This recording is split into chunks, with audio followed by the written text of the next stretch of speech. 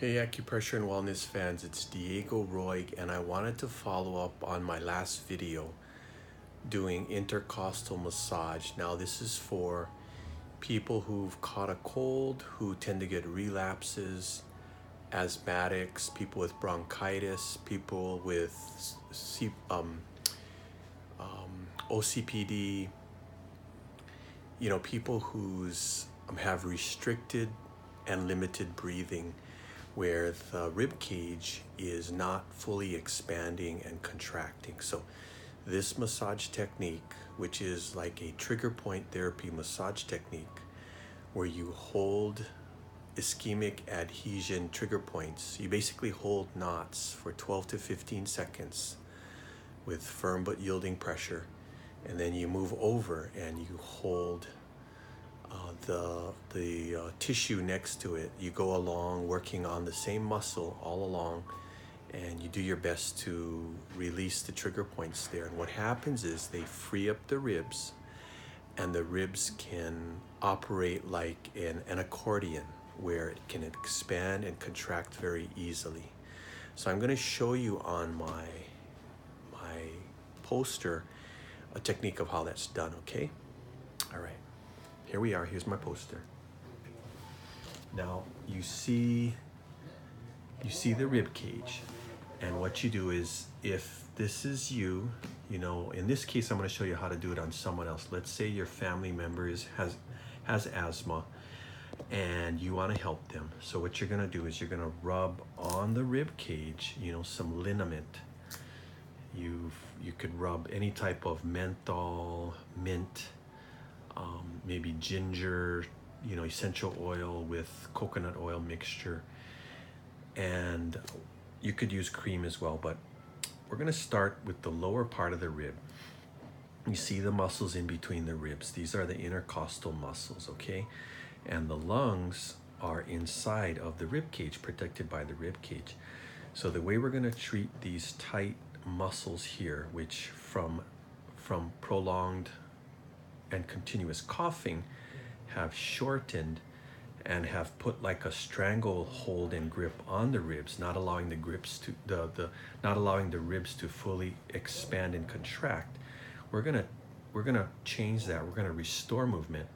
And the way we do that, we start at the bottom of the ribs. And in this case, you can see I'm gonna use, I'm gonna start off with two fingers, two fingers here, and then I'm gonna place them in between the ribs on those muscles, hold them for 12 to 15 seconds and I'm applying firm but yielding pressure.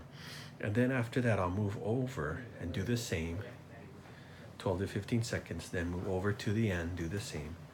Then I'll come up, and in this case, I can probably do three fingers, and that's just to expedite it, but I'd hold there for 12 to 15 seconds, holding firmly, feeling for tension in the muscles. Move over, hold another, hold his muscles right next to it 12 to 15 seconds. Then move over 12 to 15 seconds. Now my left hand, uh, my right hand's pressing on the muscles. My left hand can grab the arm and raise the raise the arm from the elbow, raise it up this way, and then treat a little further under the rib cage. Yeah, and when you do that, when you raise the arm, you're expanding the lung too. Yeah. Okay. So then we can move up. Now we're going to come closer to the sternum. Same thing with three fingers. We'll press between the ribs on the intercostal muscles and hold them, pressing 12 to 15 seconds. Firm but yielding pressure, come over 12 to 15 seconds. 12 to 15 seconds, nice and slow. You keep doing that, right? What happens is you've managed to release the knots and adhesions, ischemic adhesions in this muscle that's gotten tight from prolonged and continuous coughing. Okay, so you do that all the way to the top here.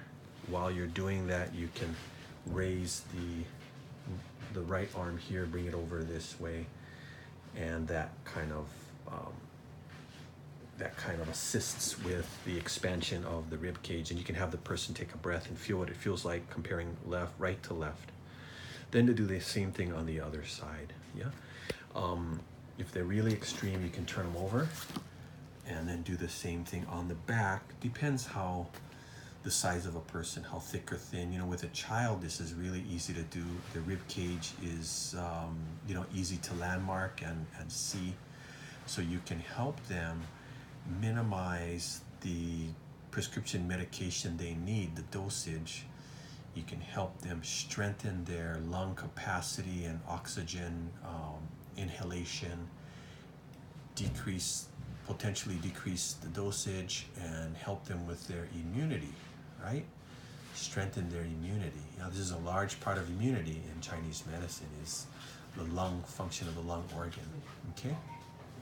Anyway, and that's the technique, my technique of doing an intercostal massage therapy using trigger point therapy technique. Thank you for joining me. Oh,